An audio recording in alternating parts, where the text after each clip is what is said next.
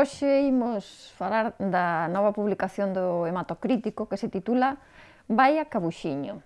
Eh, levamos xa varios títulos desta colección, A xente riciños, O lobo con botas, títulos que fan referencia a contos clásicos, pero o autor encárgase de darlles unha volta, non?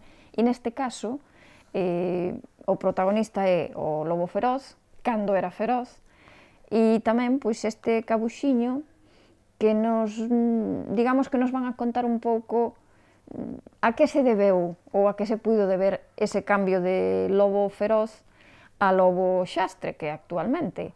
E o cauxiño tivo moito que ver, así que para os pequenos imos saber eh, os, o conto dos tres porquiños, o conto dos sete cabuxos, pero cunha volta máis.